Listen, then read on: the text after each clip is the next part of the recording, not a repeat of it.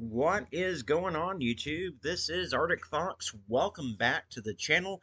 Today we are covering the missing persons case of 41-year-old Kimberly Felton who is missing out of Centreville, Virginia. Kimberly was last seen at 7 a.m. in the 14900 block of Rydell Road in Centreville. She is 5 foot 3 inches tall and weighs 230 pounds with black hair and brown eyes.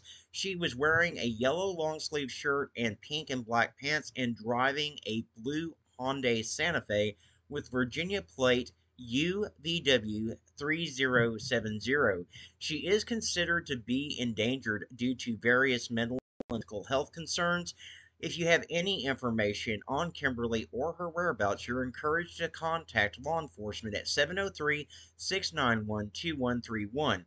Guys, this woman has been missing since this morning. We do need to get her face out there on social media as quickly as possible. It does not appear that there's been a silver alert issued for her. Why, I do not know, but we do need to be her silver alert. We need to get her face out there do me a favor, guys. Give the video a like. It does help more people to see Kimberly's face, and the more people that see her, obviously, the better the chances are that we can bring her home safe.